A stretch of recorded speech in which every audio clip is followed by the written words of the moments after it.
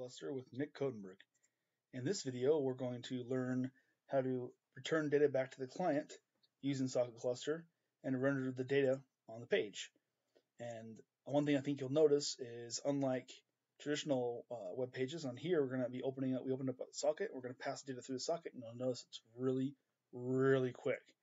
At, um, at my job, um, we push down 20 and 30 megs of data sometimes, and that is rendered very, very, very quickly, much faster than a traditional uh, app, app would do it.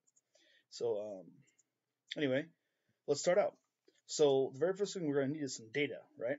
So I like to do that with a controller uh, and a model, uh, the MVC pattern. Uh, MVC pattern.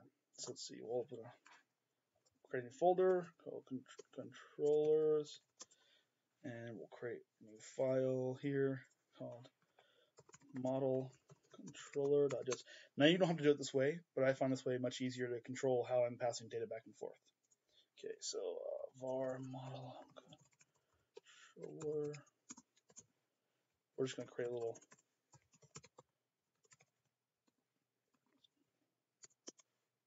controller. Need a models folder, so we'll do models. Great. Uh, we'll see. Let's let's do user. User users.js. Okay.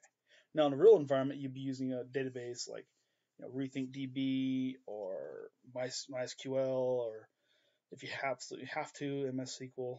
I'm not a big fan of MS SQL, but um, a lot of other um, databases out there to store data. But in this scenario, we're going to strictly deal with uh, um, static data. So let's do that. Var users equals here. We'll go.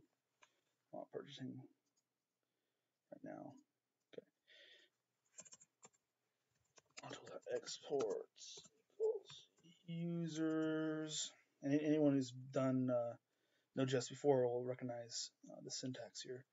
Um, model controller dot users equals require. So we need to do dot dot forward slash models users.js. Then we'll go into here.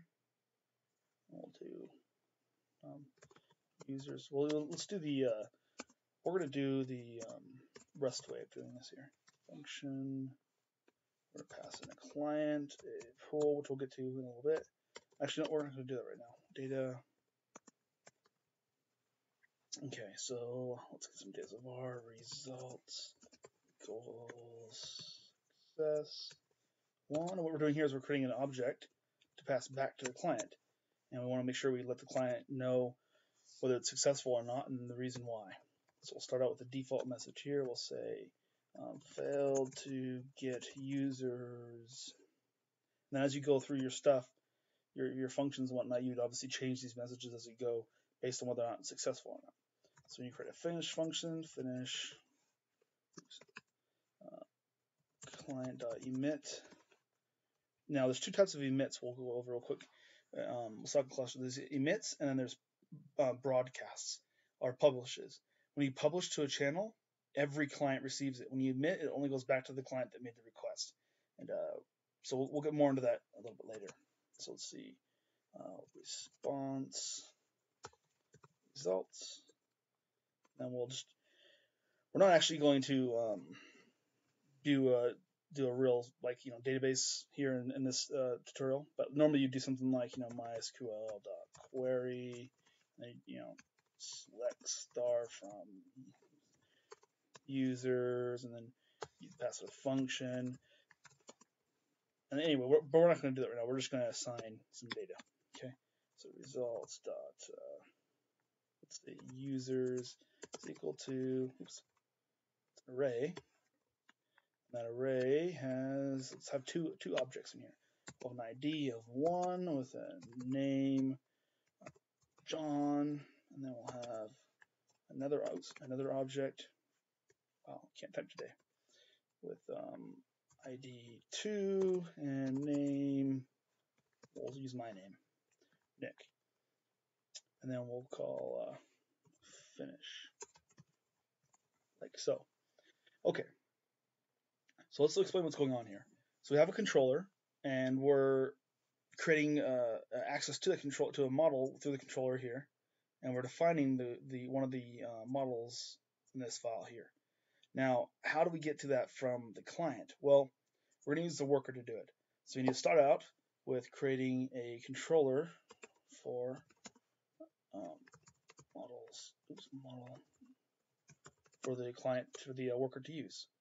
So equals require, the same things before, controller, oops, controllers, model, oops, model, wow, JS. Okay, so let's say the client wants to get some data. So on here, we're to have to create a path for that data to, to, to um, oh, one thing we forgot, we need to notify back where it's going. That, uh, users index. Okay, we'll explain what this is here in a minute. So this is the message that's coming in from the client, right? We'll do uh, model controller, and we're going to do data dot route data dot resource. I'll explain what's going on here in just a minute. We're going to pass in client and the data.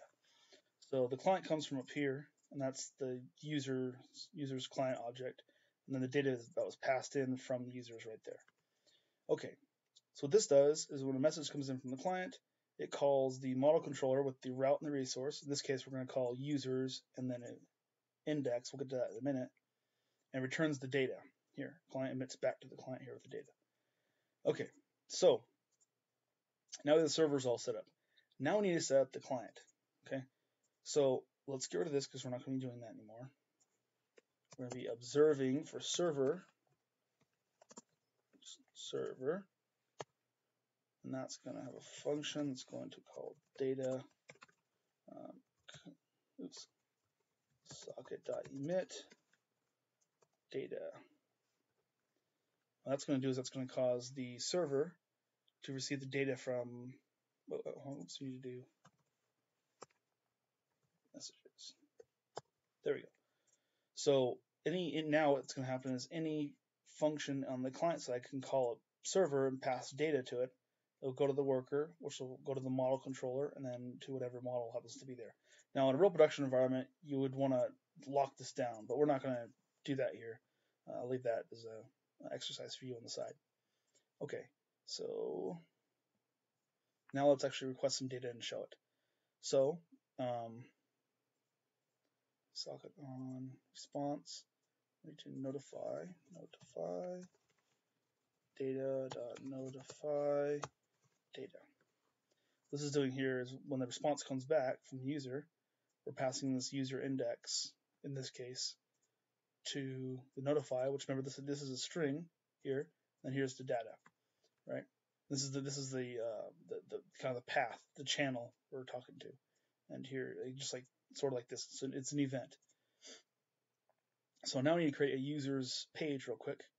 So I think we're almost out of time. Let's try to do this quickly. So users.js. Just to save a little bit of time, we're going to copy and paste this here. And we're just going to do users there. We need to add it to the nav bar here. Users, users, and then we need to add it to the router. So let's do that real quick.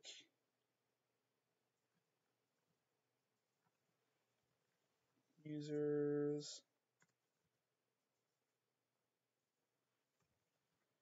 users and then the user file will respond. So now what we're going to do is instead of showing the page, we're going to, we're to call the server to get the data for the users. So we're going to notify,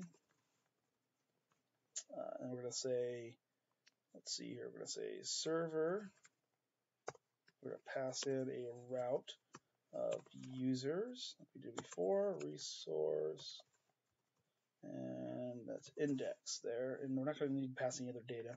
We could if you wanted to. And then we're going to observe, um, let's see, users dash index function with data